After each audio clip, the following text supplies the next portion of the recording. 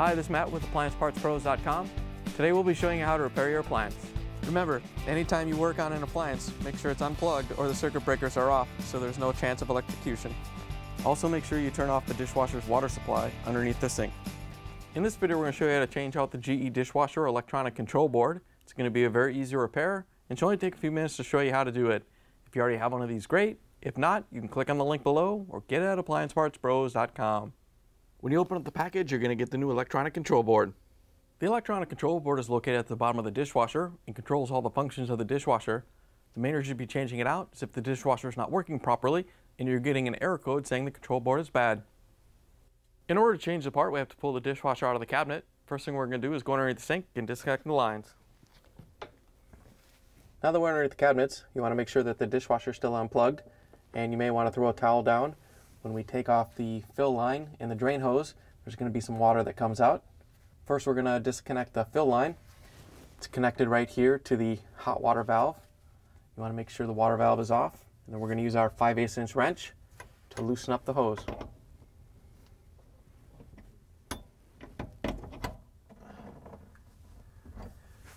Once you have it broke free, you can just reach in and unscrew it by hand. Once you have it off, you can just set it down and then we can take off the drain hose. To take the drain hose off, you just want to follow it up to wherever it goes. It may go to the garbage disposal. Ours goes up to the air gap. Once you locate the end of it, we're going to take a 5 16 nut driver and loosen up the clamp. Once you have the clamp loose, you can pull it free and set it down. Now that we have the lines disconnected, we're going to open up the dishwasher door and pull the lower rack out. All you have to do is reach in and grab it, pull it out, just lift it off and set it aside. Now we can use the Phillips screwdriver to take out the screws that hold the dishwasher to the countertop.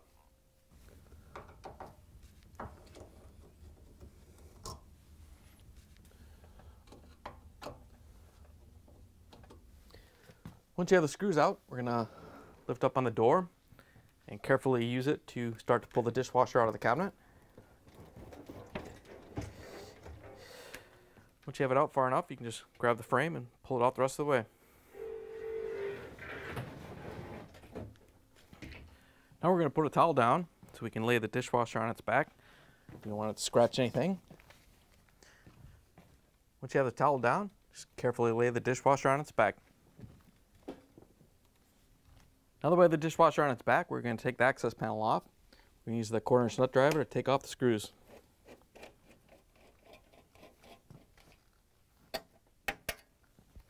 Once you have the screws out, you can grab the access panel and insulation and pull it off and set it aside. Now that we have the access panel out of the way, we're going to use the quarter inch nut driver, take out the screw that holds the junction box cover on. Once you have the screw out, you want to lift up and pull the cover off.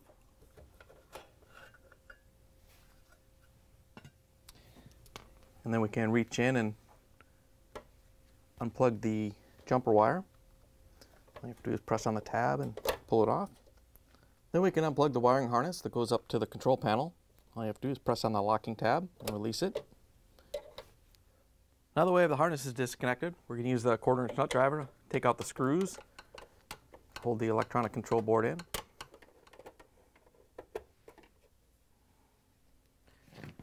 Once you have the screws out, we're going to pull down on the tray here so the board drops down.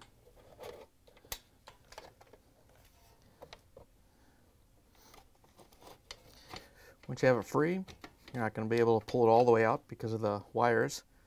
We're going to reach in and disconnect the wiring harnesses. We have this one here first. Just press on the locking tab and lift it out.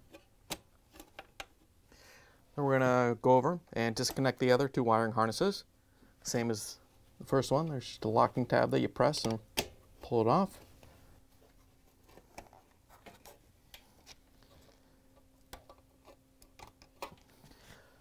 Once you have them all disconnected, we're just going to carefully pull the tray out so we can take the control board out of it.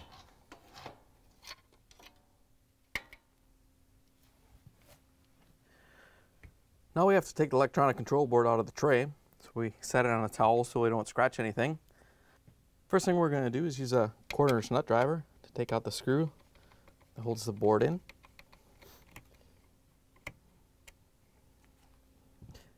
And then there's some locking pins that go around the board.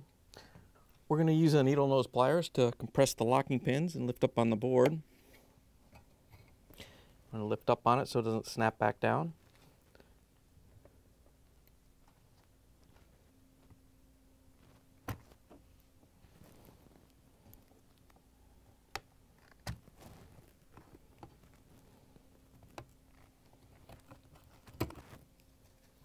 Once you have all the pins released, you can pull the electronic control board out of the tray.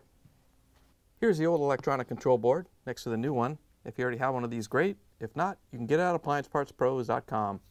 To put the new electronic control board in, all you have to do is set it down into the tray and line it up on the white pins. Just want to carefully press it down, make sure they lock on.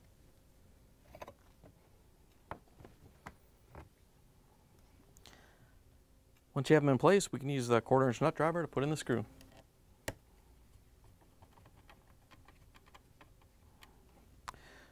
Now that we have the screw in, we can put the tray back into the dishwasher. To put it in, you're just going to line it up and drop it down into place. Just want to grab the wiring harnesses, make sure they don't fall behind it. You also want to make sure that it goes through this little cutout in the tray, otherwise you won't be able to close the tray later. So we're going to grab the red and the black one. It goes here on the side of the control board.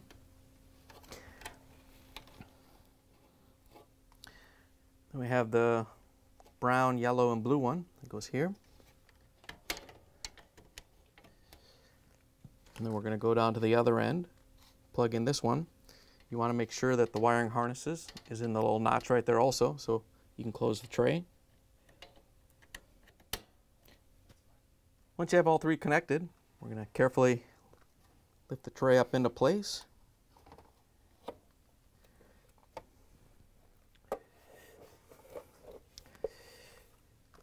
Once you have it in, we can use the corners nut driver to put in the screws to hold it in place.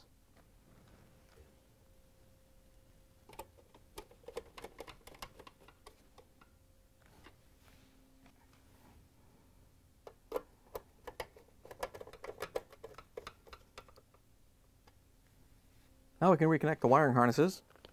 We're going to connect the one in the middle first. This is the one that goes up to the control panel. Just want to plug it in, make sure it locks into place. And then we can do the jumper wire that goes to the power supply.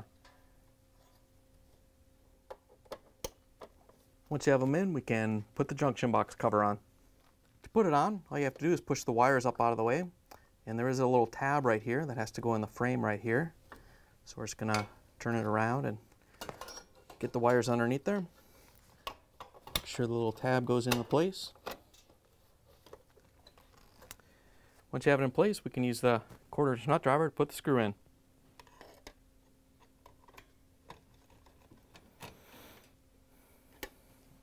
To put the insulation in, you want to make sure that the cutout for the junction box is on this side and set it in place and make sure that this upper part goes up into the door. Once you have the insulation in place, we can set the access panel in place and use the quarter inch nut driver to put in the screws.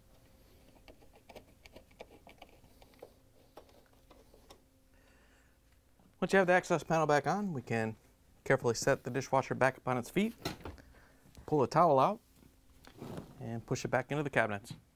Now we have to reach underneath and put the lines through the cabinets. We want to push the dishwasher in about halfway. Then we can go underneath the sink and pull on the lines to make sure they're not caught on anything. Then we can push the dishwasher in the rest of the way.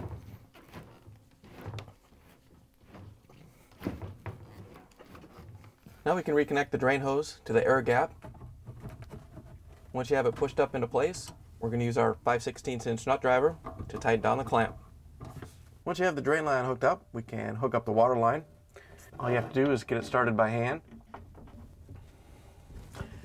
Once you have it snug, we can reach in with our 5 8 inch wrench to tighten it down so it doesn't leak. Now that we have the lines reconnected, we can open up the dishwasher door and use the Phillips screwdriver to put in the screws to hold the dishwasher to the countertop.